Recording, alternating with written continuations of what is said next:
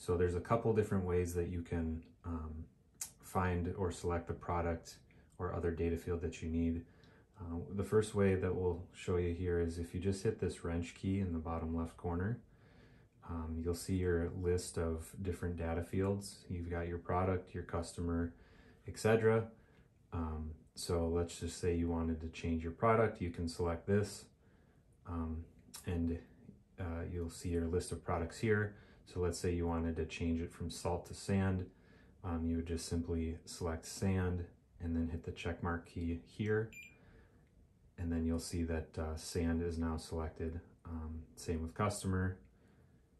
If we go to customer and you're on Village of North Prairie and you need to select uh, Village of Eagle, you can just select Village of Eagle and hit the check mark key and then you'll see that it's changed there. So then you can just back out to your main screen and start your loading process. Um, another way that you can access your different data fields are through these four hot tiles on the top. Um, you've got uh, your product, your customer, your job number, and your truck number. And so you can just select those at the top and it brings you to your um, same lists and you can select uh, your product or customer or whatever um, this way as well. So that is how you select your different data fields.